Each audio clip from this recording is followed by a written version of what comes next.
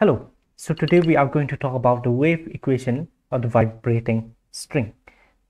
The wave equation is given by this uh, differential equation which is partial differential equation del 2y del x square equal 1 by v square del 2x del 2y del x square. Okay, so as you see over here we are having a string.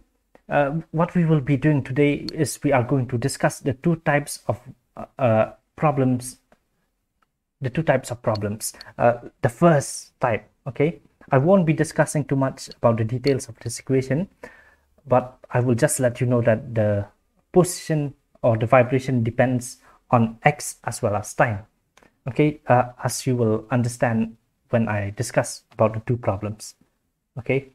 Keep that in mind. We are going to discuss two problems.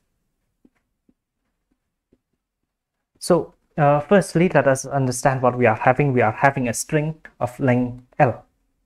Okay, so for both the problems, we are having a string of length L. Okay, and this one it is the x coordinate. Okay, let us call that one as x, ox, and this one as oy. So what is happening over here in this first problem is that we are not striking it like that okay even though it vibrates. But what we are doing is we are changing the initial position.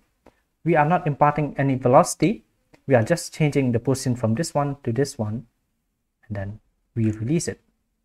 Okay so it vibrates. We did not impart any velocity or anything. We just hold it at a different position and then release it. Okay so that is what is happening. If you notice over here that if we change the position then the y coordinate changes. Okay suppose we are holding it in this way. Okay but also keep note that we can hold it like this. Okay and then release it it will still vibrate. Okay but okay for the problem that we are going to discuss today okay let us say that we raise it to a height h. Okay something like that. And then we release it. Again we did not impart any initial velocity. So the y coordinate for this point it will be the x coordinate. It is in of course l by 2 okay suppose we are holding it from the middle. And then the y coordinate it will be h. Okay since we are raising it to a height h. If you notice what is happening over here each and every point of the string it is having a different y coordinate and a different x coordinate right? That is also true when it starts vibrating. Okay so what can we say? We can say that the y coordinate it depends on x. And once it starts vibrating the y coordinate it depends on time. Okay just take a look uh, in case you are not understanding.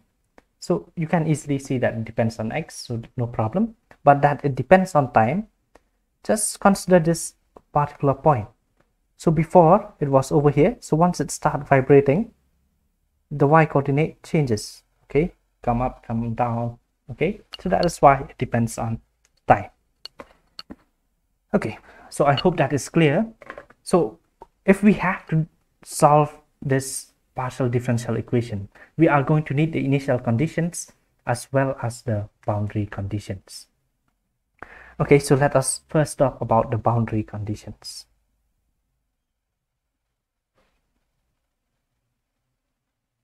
The boundary conditions for this particular problem. Okay or for problems where you raise uh, the string like this or in any shape that you like okay even like that. What is happening is at the endpoints okay the y coordinate it's always zero because it is always fixed at the end. So the boundary condition the first one is that at x equal to 0 y is equal to 0 and the second one is that at x equal L y is equal to 0 now what about the initial conditions?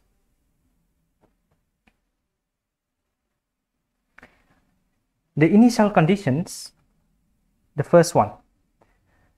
Again I repeat we are holding the string in this position. Okay? So if you notice it no longer depends on time. Okay? Because we are holding it steady we are holding it steady initially at time t equal to 0 and then we just release it. So at t equal to 0 y naught which is the initial position it will only depend on x. It will be a function of fx. What exactly is this fx? Okay sometimes it is given or sometimes you are just given a shape. Okay if you are given a shape then you are you have to find this fx okay but keep note that it only depends on x. Okay the second one. I keep on repeating that point that you are not imparting any velocity. Okay what we are doing is okay we did not strike it like that. Okay so since you, if you strike it like this it's like you are giving a, a velocity in the y direction. Okay the velocity in the y direction it's given as del y del, del t okay del y del t it is the velocity along the y direction. Okay you do not give any initial velocity. So that's why at t equal to 0 del y del t it will also be equal to 0 so these are the initial conditions. You did not give any velocity but you were holding it at some positions okay? Uh, something like that. Okay that is fx okay i won't be discussing about the second problem before uh, i will be discussing but only after i complete the first problem. Okay so let's see. Okay i will just keep this as it is.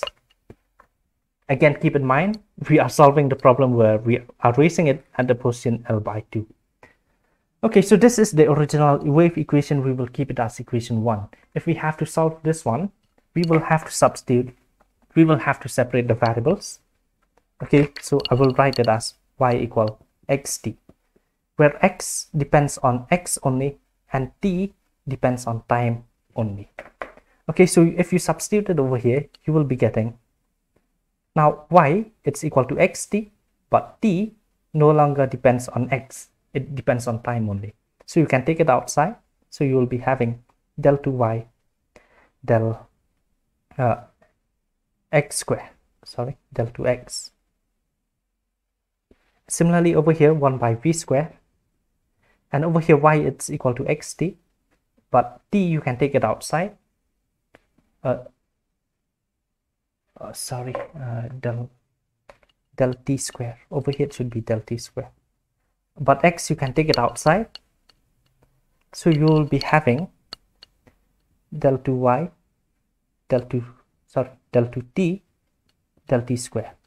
So uh, keep in mind that once we separate the variables okay now uh, we can actually change everything into a total differential before it is a partial differentiation now we can change it into total differentiation because x depends on x only and you are differentiating with respect to x.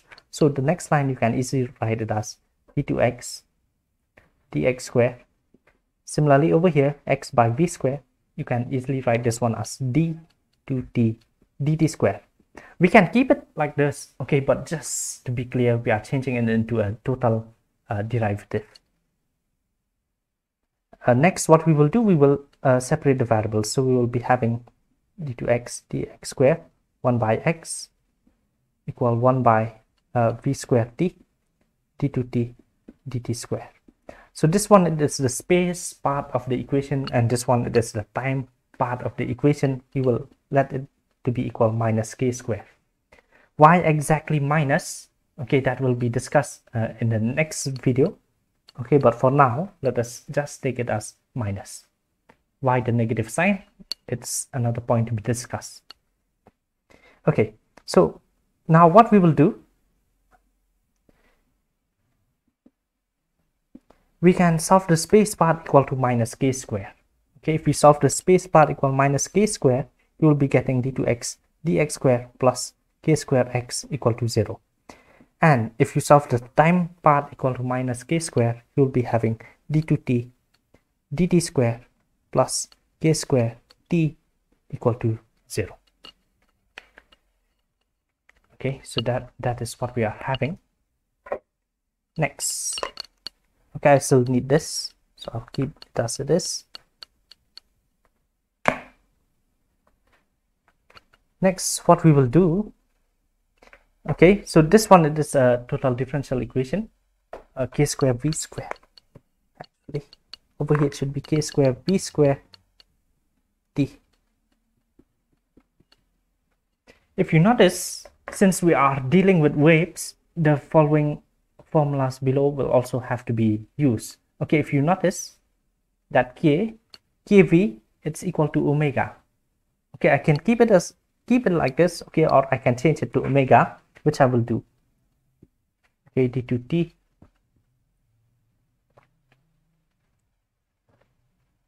Okay uh, omega square t. Okay i can write it like this and this one i will keep it as it is.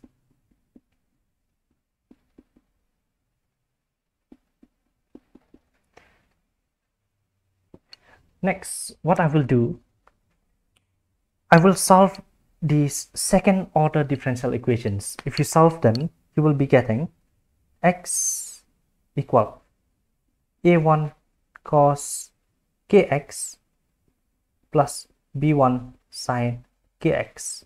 And if you solve this one you will be getting an t equal a2 cos omega t plus b2 sine omega t okay actually i think i should erase this one so that i can write it better. Okay but keep in mind that we have initial conditions as well as boundary conditions. Okay but if you remember that y it's equal to xt x times t. So y you will actually be getting cos kx plus b1 sine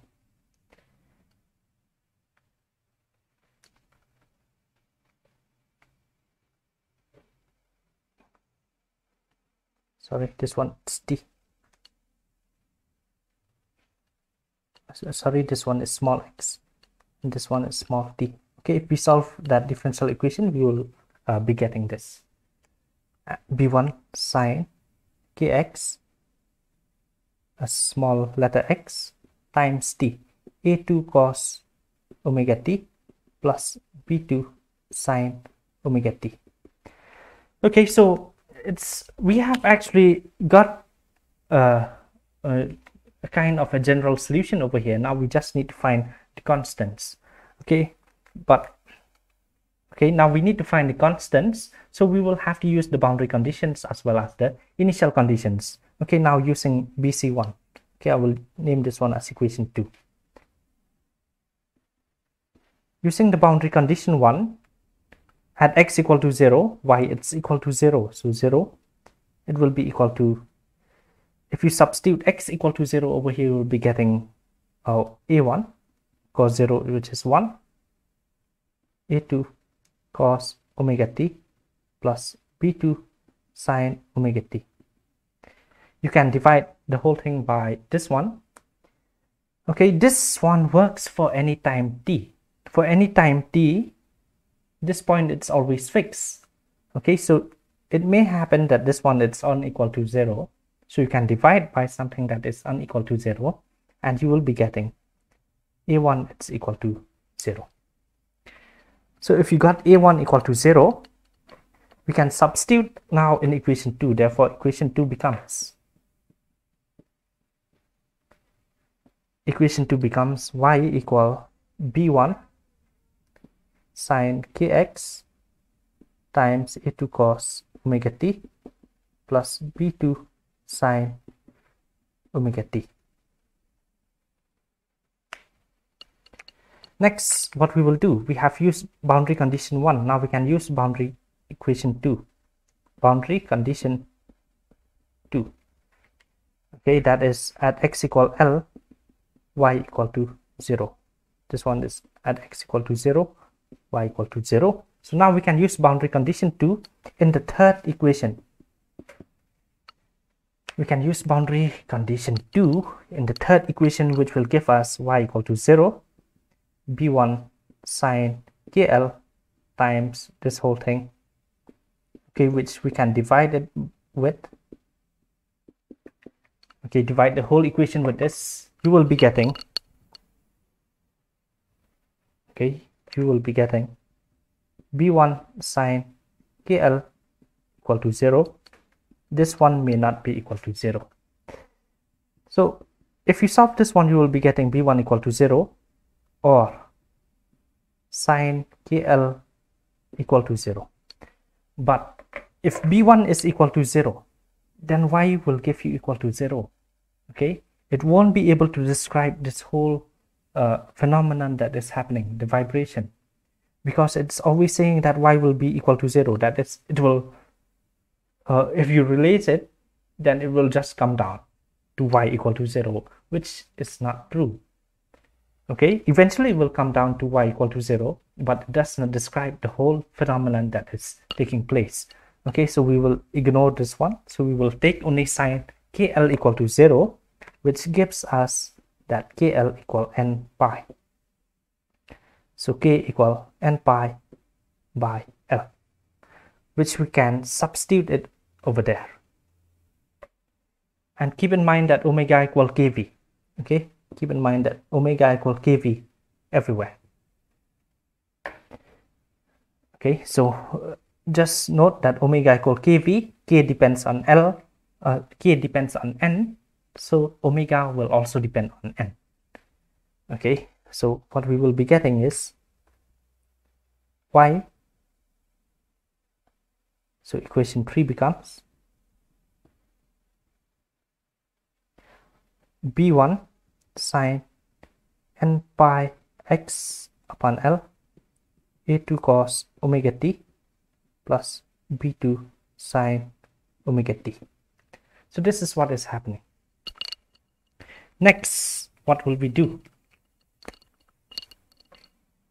Okay, uh, we can uh, do a bit of simplification over here.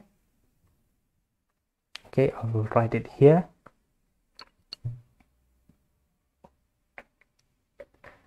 Uh, so I can multiply b1 and a2 which gives us another constant which I will name it as a. a sine n pi x upon L cos omega t plus b1 b2 will give you another constant b sine n pi x by L sine omega t. Okay, so we have finished using the boundary conditions. Now we will use the initial condition. Okay the initial condition okay we did not impart any velocity. I think that was initial condition 2 okay we did not impart any velocity. At t equal to 0 we were just holding it still. We did not impart any velocity initially. We did not give any velocity. Okay so this is what is happening. So if we have to use this initial condition since it involves derivatives therefore we will have to differentiate this one partially with respect to t. So before using this one actually you will be differentiating with respect to t differentiating equation 4 partially. Okay so what we will be getting del y del t. This behaves as a constant so you will be having minus a omega sine n pi x by l sine omega t plus again b omega sine n pi x by l sine omega t so this is what we are having now we will use the initial condition that is at t equal to 0. Del y del t is equal to 0. So we will be having, so t is equal to 0, which this first term will be equal to 0, b omega sine n pi x by L sine omega t. Sorry, uh, I think there should be a cos somewhere.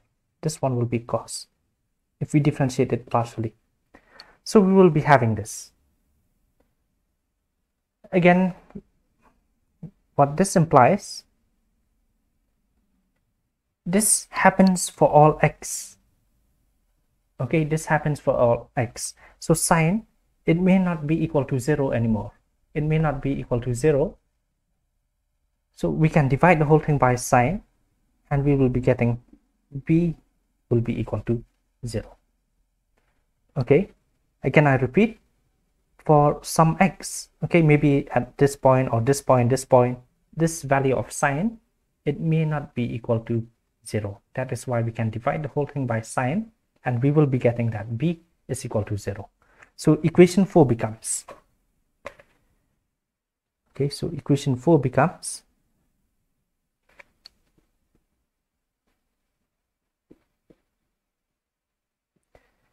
equation 4 uh, okay so becomes y it's equal to so b has become 0 and by x by l cos omega t.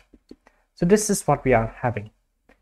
We still have one initial condition that we have to use okay? That initial condition will be used after we use the superposition principle okay? To describe the whole phenomenon we will use the superposition because since it is a partial differential equation okay superposition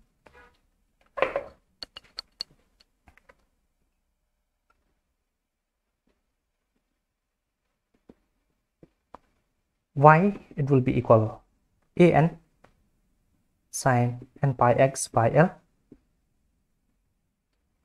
And over here instead of cos uh, omega t we can even write it as omega n because remember that omega depends on n. Okay but i will still be writing it as omega t. Okay but you can easily write it as omega n because it depends on n. Okay but i will be writing it as omega t. Uh, it's just a matter of notation. Okay you can choose anything that you like. Okay so i will do it like this. Take the summation Next, we will use initial condition 1. Initial condition 1.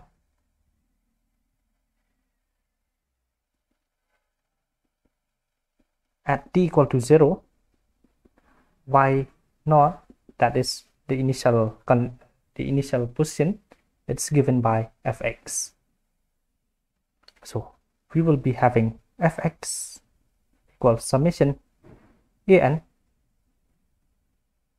sine n pi x by l. Okay name this one as equation 5 and if you substitute t equal to 0 you will be having this. Now we just need to find an okay so an will be 2 by l if you use Fourier series. Okay fx sine n pi x by l dx so this is what we will be getting Okay, but again, I repeat, this fx, it may be given to you what it is, or we have to find it by using the figure that we are given. Okay, so in this state, we were given this a figure that looks like this. Okay, so we just need to find fx, okay, which we will do now. Okay, so I will write uh, this one. Okay, I will need this equation 5 again.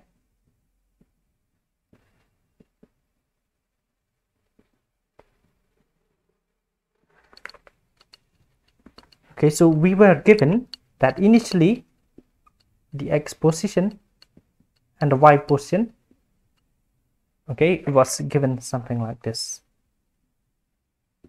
We were raising it to a height h.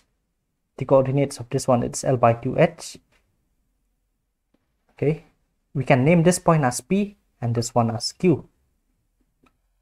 So if we have to find fx fx it is this whole thing so fx is composed of two line segments OP and PQ. Okay, so now we just need to find equation of OP which is a line passing through 0, 0 and L by 2h. So we can use that okay to get okay y minus 0 by x by h minus 0 equal okay x minus x1 divided by x2 minus x1. So you will be getting y equal 2h by lx. So this one is the equation of OP. But again, fx, it is the whole thing. So what we will be getting, we will also be needing equation of PQ. Equation of PQ, it is y okay minus y1 divided by y2 minus y1 0 minus y1 x minus x1 divided by x2 minus x1 uh, x2 minus x1 y minus h y minus h you will be getting okay so just note down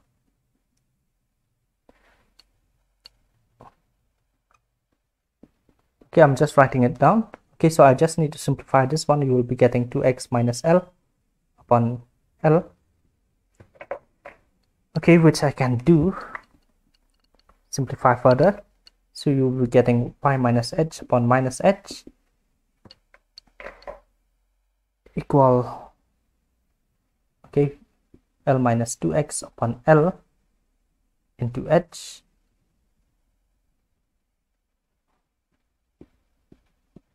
so therefore y will be equal to 1 okay you will be getting minus 2 h x upon l plus 2h so this is what we will be getting. So this one was the equation of pq so what i will write over here what is fx fx is the equation of op and also the equation of pq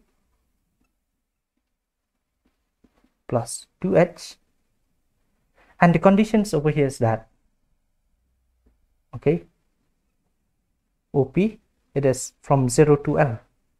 0 less than x less than l. And from here to here it will be l by 2 less than x less than or equal to l. Pq it's for this uh, x. Okay so this is what we will be getting and if you remember, we had been calculating an, which is integration 2 by L, 0 to L fx sine n pi x upon L.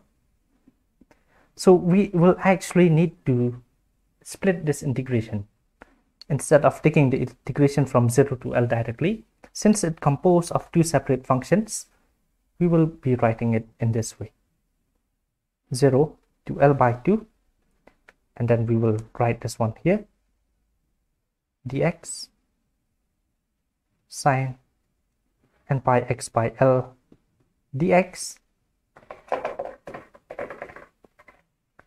We will add we will add them split the integration like this and l by 2 2l and then minus 2hx upon l plus 2h sine n pi x upon l dx so if you calculate this one, you will be getting an, and after getting an, you will substitute it back over here to get the whole solution. So substitute in 5 to get uh, the whole solution. I hope that is clear. So that is about the first type of problem that we are discussing. Okay, the second type of problem, the second type of problem that we will be discussing is when you are giving an initial velocity. Okay, we are not holding it in any kind of position. The initial position remains fixed. We are giving an initial velocity in that direction. Okay, so for the second problem, we also need the boundary conditions. The boundary condition, the first one, it states that, okay, at these points are always remain fixed, y equal to 0, at x equal to 0 the second one equal y equals 0 at x equal l. What about the initial conditions? The initial condition is that okay number one at t equal to 0 what is happening? At t equal to 0 you are not doing anything. The position remains fixed okay? Y equal to 0 at t equal to 0 and number two you are giving a velocity okay? So del y del t it depends on x okay? Which is a function of x again. So we can write this one as vx at t equal to 0 okay so how actually do we do how actually do we solve this problem? I will just give you a clue. Okay so remember that we when we solve the original wave equation we got y equal a1 cos kx plus b1 sine kx. Okay so th that actually works up to this part as well. Okay but it's just that now we are having different boundary conditions and different initial conditions. a1 cos uh, omega t plus b2 sine omega t. So if you use the first boundary condition okay using first bc you will be getting a1 is equal to 0 okay? Okay you can try it. Okay just like we did. So you will be getting y since a1 is equal to 0 now we will be getting b1 sine kx a2 cos omega t plus b2 sine omega t. So this is what we will get. Next we will use the second boundary condition. If we use the second boundary condition uh, what we will be getting okay you can try it using this one you'll be getting kl equal n pi. So you'll be getting k equal n pi by l. Again we can substitute it over here. So you will be getting so y will now change okay so now y will become a okay b1 into a2 will i will denote that as a a sine n pi x upon L cos omega t plus b sine n pi x by L sine omega t. So that is what we will get. Okay, so this is only when using the two boundary conditions, the solution will be reduced something that looks like this. Now we will need to use the initial condition. Okay, initial condition 1. Okay, y equal to 0 at t equal to 0 substitute t equal to 0 over here you will be getting y equal to 0 so if we substitute t equal to 0 you will be getting 0 equal a sine n pi x upon l. So this is what we will get. Okay? Cos 0 is 1 sine 0 is 0 at t equal to 0 okay so this actually gives you that a is equal to 0 so after using the initial condition 1 we will be getting this. Okay so next what we will do we will substitute it over here. So again this one will be reduced into b sine n pi x upon l sine omega t okay but now but now we need we need to find b. Okay so since it has become into something that looks like this what we can do now is actually superimpose. Okay superposition. So you will be having that y is equal to bn sine n pi x by l sine omega t So this is what we will be having. And remember that omega depends on n. Okay, because omega it's equal kv. Omega equal kv, but you have got that k equal n pi by l. Okay, so n pi v by l. Okay, so keep in mind that omega depends on n. Now what we will do, we will use the second initial condition. This is when we need to differentiate. Okay differentiating.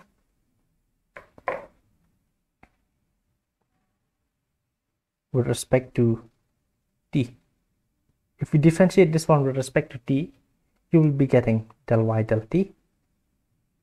Partially you will be getting summation n equal 1 to infinity bn omega sine n pi x by l cos omega t. So this is what you will be getting if you differentiate this one with respect to t partially.